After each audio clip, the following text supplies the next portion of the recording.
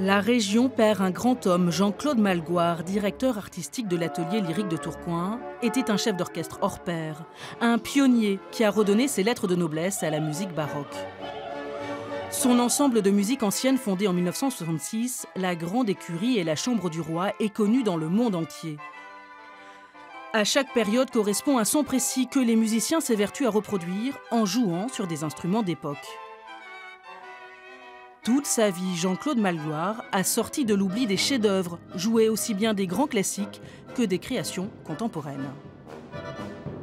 C'est que Kagel a beaucoup d'humour. Il écrit des pièges quand on fait pendant 60 mesures.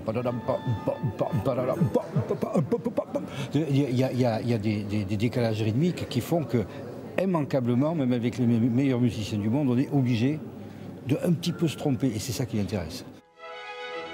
Avec son Montezuma de Vivaldi, il reçoit une victoire de la musique classique en 1992, puis une autre en 2003 pour l'ensemble de son œuvre. Né à Avignon, oboïste de formation, il a joué avec les plus grands, comme Karajan, avant de s'installer dans le Nord au début des années 80 et d'offrir à la région son immense curiosité et son énergie inlassable. En 2006, il rend hommage au mineur mort à Courrières 100 ans plus tôt avec le Requiem de Mozart. Mais Jean-Claude Malgloire est aussi un grand découvreur de talent.